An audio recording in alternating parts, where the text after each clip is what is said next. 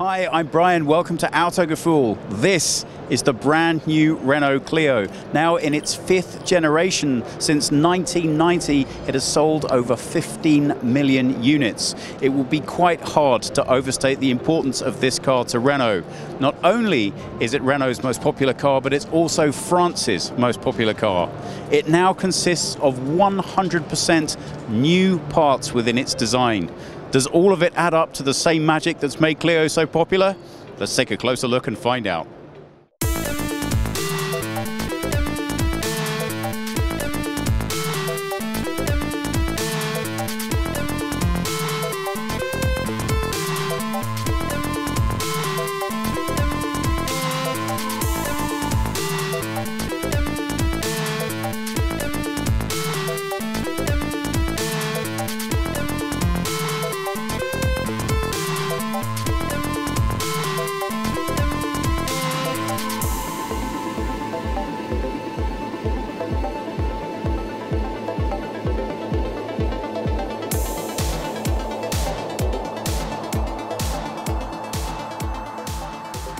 Given that every single component part of this car is completely new, it is very impressive how much of the design characteristic and the DNA of the Clio has managed to remain within this car.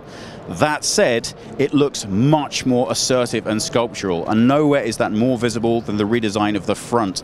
Look at the accents that the car now has, the way that this bonnet is cut into for the large Renault logo, the way that we have these dramatic sweeps down into this small grille, and the bumper at the bottom, making it look much, much more dynamic, contemporary and fresh than its predecessor. So okay, the Clio is not exactly the most exciting car, but one of the reasons that I like it is the same reason that everybody else likes it. It really is a lot of fun and a lot of car at a very reasonable price point. That said, obviously the change in the way that car design works means that we're all a little bit more demanding as consumers than maybe we used to be. And if there's been one criticism that you hear more than any other of the previous generation of Clio, it's that the design was getting a little bit stale. Well, I don't think at all that that's a criticism you can make of the front of this car. It's very dynamic, it's very individualistic, but you know what? It still says Clio. Coming around to the side and that sporty dynamism continues. Just look at the way this headlight wraps through into the side with the accent line for the indicator cutting in lower down to the bumper.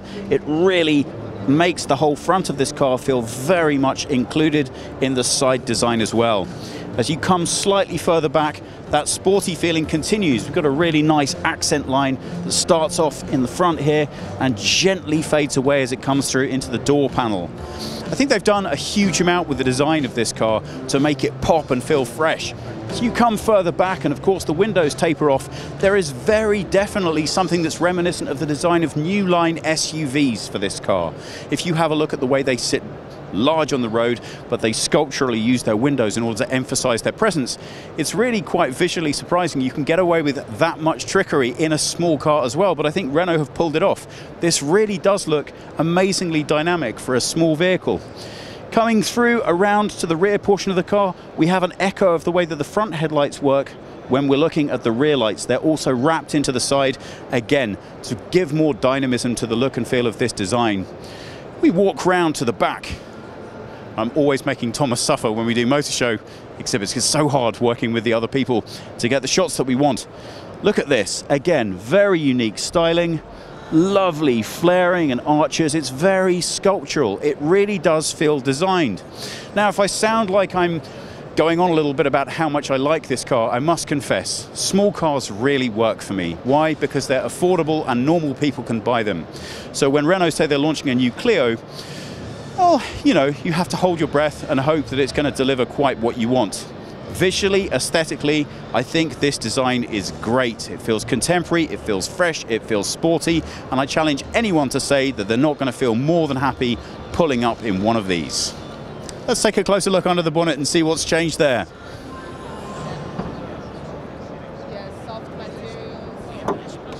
That's if I can get in.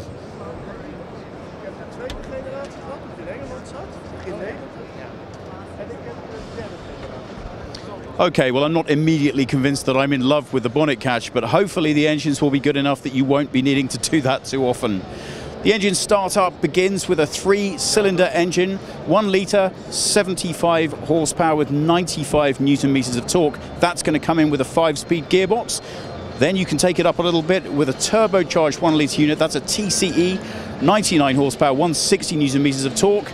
And I think right at the top of the line, you're going to be able to get a 1.3 litre petrol, four cylinder, 129 brake horsepower, and 240 newton meters of torque. So that ought to give you more than a little bit of fun in a small run around. Now don't forget, this car has lost a lot of weight from what came before, so you ought to be able to see more impressive fuel efficiency numbers.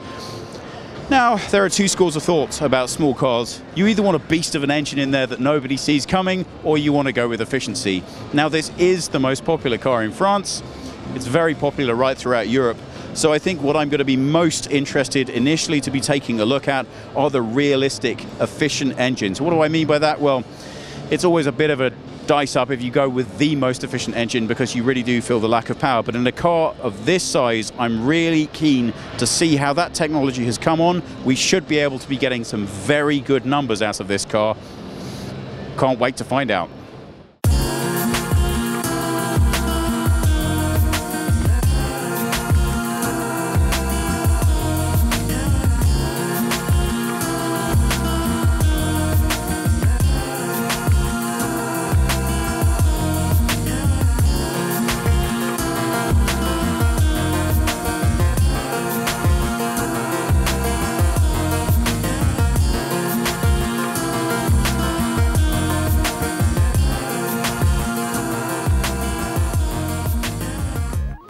Lot's changed outside, I'm pretty sure a lot's changed inside as well. So let's take a look and see if they've managed to pull off the same tricks.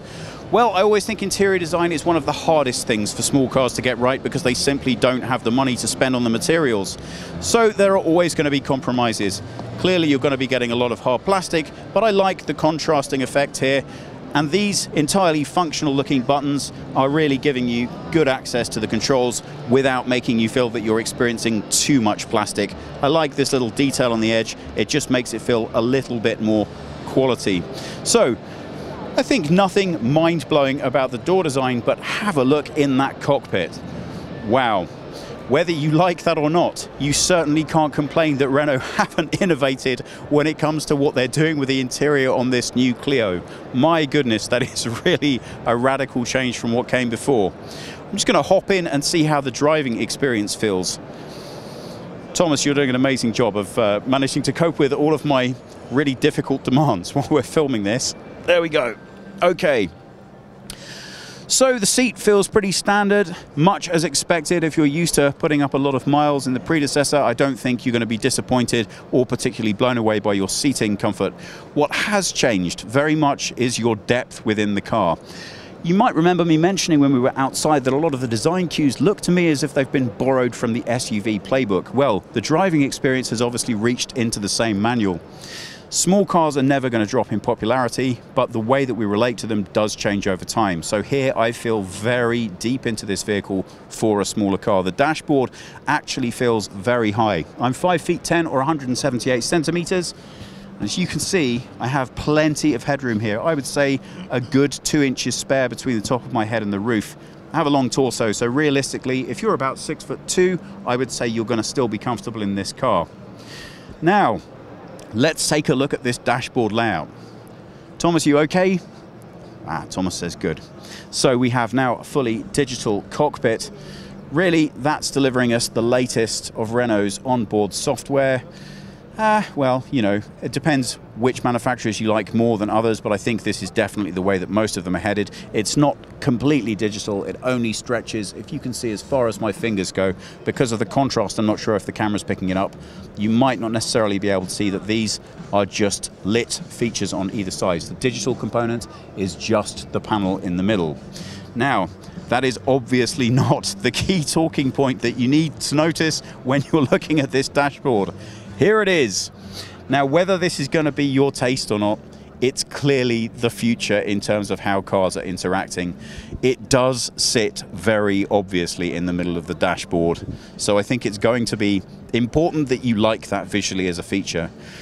I'm really struggling to understand how you could have integrated it any better at this price point. That's the issue. Once you start wanting to embed displays into dashboards, things start getting very expensive very quickly. So, although this wouldn't be my first choice, and I'm not in love with the styling, when I consider the compromise that's involved in making a smaller car, I think I can live with it. It does look fresh, it does look different, it does look energetic.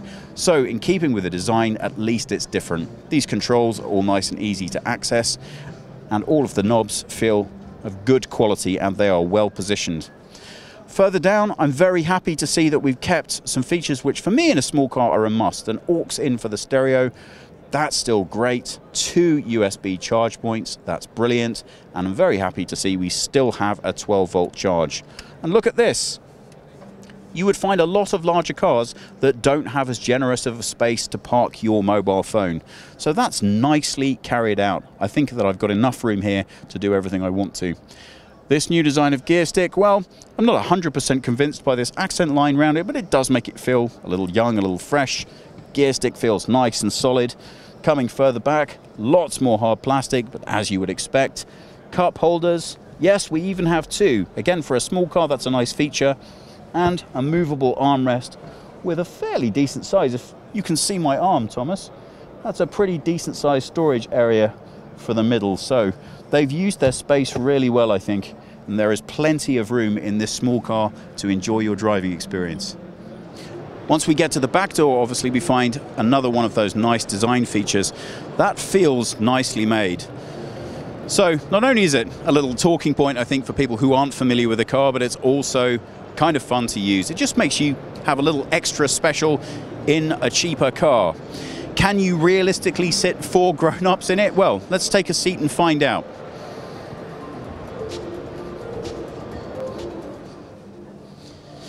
Well, it is a small car, and I think Renault have made good use of the interior room. For me, for a small car, I always want the priority in the front. After all, even the most busy parent is not driving around with all of their children all of the time. So the driver's experience really is paramount for me. I have enough space back here. I could certainly use this to nip in and out of town and get a lift where I need to go slightly tempting is that when you look at the big visual display in the front, I can imagine the children finding it very hard to understand that they can't use that as a TV. So connectivity back here. If they can't use the main screen, can they connect their iPads? Well, okay, every small car is going to have some compromise, and this is where we run out of money. There are no charge points back here. I think it would have been a nice addition to have at least put one in. After all, this is a car that's going to feature a lot of children and they are going to be mad that they can't watch TV on that screen. Head height, well, it's not bad. I think really this is a runabout. I have plenty of room back here, and even if you're a larger person, I still think you're going to find enough comfort that you could possibly reasonably expect in a small car. Materials, well, they're all nice and easy to wipe clean. I think that's probably about the fairest thing I can say about them. They've done as much as they can visually to make them look interesting and not simply an afterthought. But you know, you have to have a realistic expectation, I think, and this more than meets mine. Again, the use of the materials is nice. We've even got some soft touch happening here. Very practical, very easy to keep clean, and still young, fresh, and funky. What do you think? You have to really like the way that this rear camera has been integrated into the logo. So it's very discreet but nicely placed, but does leave you wondering, how do I get into the boot? Well, aha, it's underneath the lip. Well, that's fine. I like the way it's tucked away visually, but obviously I think you're going to get your hand more than a little bit dirty on that spot in the winter. So I'm not sure if there are any plans to add keyless entry at this stage. I suspect not, but I think you'll just have to get used to touching that without touching too much of anything else. Now, we have a variable load system here, so if you want as close entry as you can get for your loads. Obviously you have this shelf, but you also have this lower area as well. And that gives us a load space of 330 to 391 litres of load, which I think is actually pretty great for this car because a lot of changes have taken place here. The overall car is one centimetre shorter than its predecessor. That's about that. So it's good to see that we don't have any compromise in terms of boot space. The interior room has really been used well here. This car standardly is a city runabout, so what's most likely to be going back here? Well, of course, shopping. Well, look at that. You could fit an awful lot of shopping back here and children's equipment, and the odd bit of tools underneath, and still you're not going to need to worry. And it's been nicely thought out. Look at the way that that just holds itself in place while you're accessing the lower level, and then easily just pops back. Two thumbs up from me. That's a nice bit of thinking on a boot, I think. So that's our first look at the brand new Renault Clio. What do we think? Well, the new styling, I think, is absolutely superb. It really sets the car off and suggests to you that it's ready for the future. Hopefully, the French market's going to like it as much as I do. I think probably it will. I really like the slight reduction in the length, I think that adds to its dynamism, and the massive saving of weight that they've put into the car should be returning some impressive fuel efficiency figures as well. The interior is a nice refresh. I'm not quite sure that I'm in love with the way that the infotainment system's been integrated, but it certainly makes the car look modern today. Question is, how will it appear throughout its life? Well, we're going to have to wait a little bit longer on that to find out. But of course, the proof of the pudding is always in the drive. If this is going to be as dynamic and sporty as the appearance, then I think we have an awful lot to look forward to. If you have any comments or questions, pop them below. Please subscribe, and we hope we'll see you again soon.